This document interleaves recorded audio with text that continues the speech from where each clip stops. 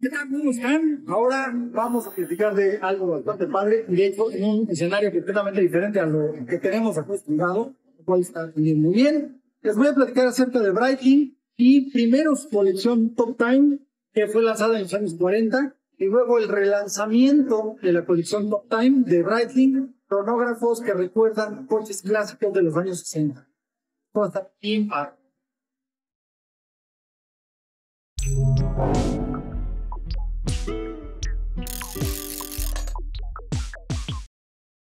Aquí tengo los cuatro nuevos modelos de la colección Breitling Top Time que recuerdan a autos norteamericanos. Se va directamente hacia nuestro pequeño puntito en el cerebro que le pega la nostalgia. Bueno, por algo siguen siendo autos deportivos muy buscados, muy interesantes para incluso generaciones más jóvenes. ¿Por qué? Porque evocan tiempos más simples. Entonces vamos a comenzar con este Top Time que recuerda o digamos que hace homenaje al Ford Thunderbird. El Ford Thunderbird primero cuando salió era un modelo deportivo de dos plazas, un coche personal que pues la idea era que fuera un modelo de alto prestigio. Salió de esa, en esa configuración durante tres años, 55, 56, 57. Entonces, eh, más o menos tuvo éxito, pero su verdadero pegue no llegó sino hasta que nació el Corvette.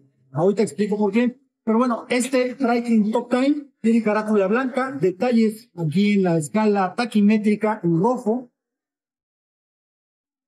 que nos permite ver la hacer un conteo de velocidad o de unidades por hora. Y bueno, un detalle que es común a todos es el cristal abombado o glass box, que es esta forma, que emula los detalles de la mica que se utilizaba en los años 60. Los cristales minerales no se empezaron a usar sino hasta los 70 y el zafiro un tiempo después.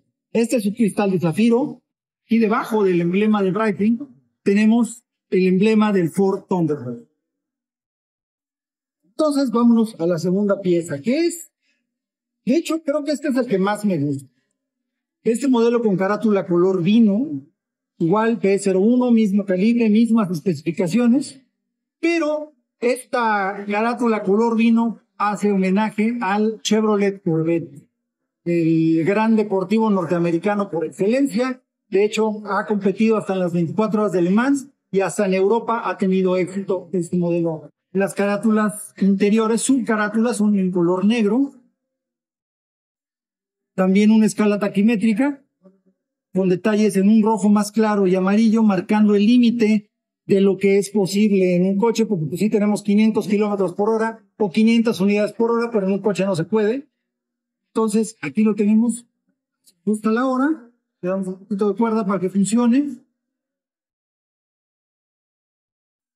Se arranca el cronógrafo.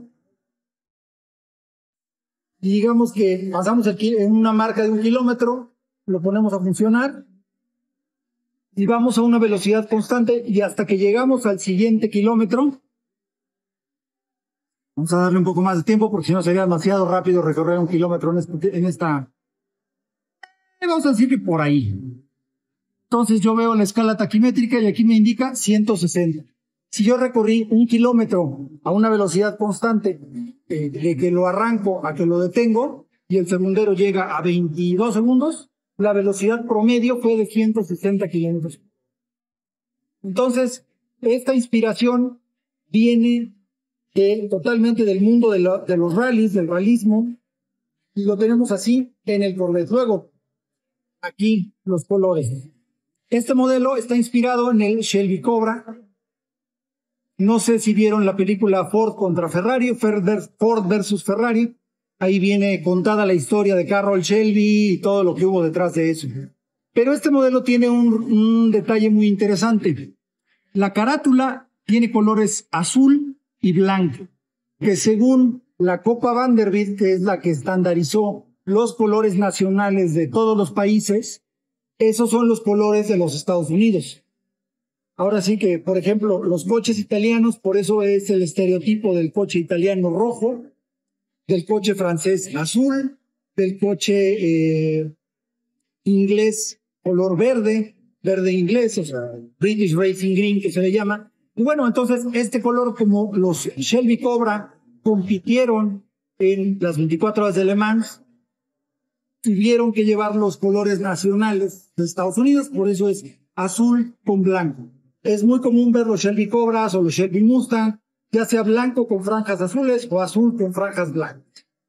Por cierto, el, los colores de México son azul y oro, tal cual los colores de la UNAM, esos son los colores de México internacionalmente.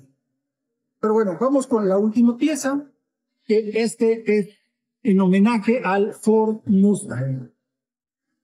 Tiene un color también verde tipo British Racing Green, pero aquí tiene un detalle interesante. Hay una película de Steve McQueen que hizo famoso al Mustang, que hizo famoso a un Mustang, un 390 con ese color de carrocería. Ese verde viene más del eh, Mustang eh, que, manejó Steve McQueen en la película Bullet, una película policíaca de trama bastante pues normal, pero que ganó un Oscar por edición por una excelente persecución entre un Dodge Charger y el Mustang 390 que manejaba Steve McQueen porque no le gustaba utilizar doble.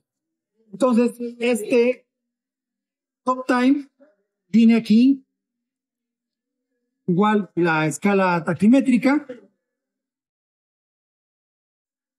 con los las subcarátulas en color negro mate y domina el verde botella, verde oscuro. Si ven esa película y sobre todo si buscan la persecución la pueden encontrar en YouTube y eh, van a ver ese Mustang y todo lo que hacía Steve McQueen, que por algo es un actor tan recordado porque verdaderamente le gustaban las carreras, le gustaban los coches. Bueno, llenos de nostalgia, estos Breitling B01. Vamos a hacer un repasito de los cuatro. Thunderbird, Corvette, Shelby Cobra y Mustang. Y en la parte trasera, por supuesto, también tenemos que indica que tiene certificado de cronometría. Todos los Breitling Top Time tienen un certificado de cronometría expedido por el COS, el Control Oficial Suizo de Cronómetros.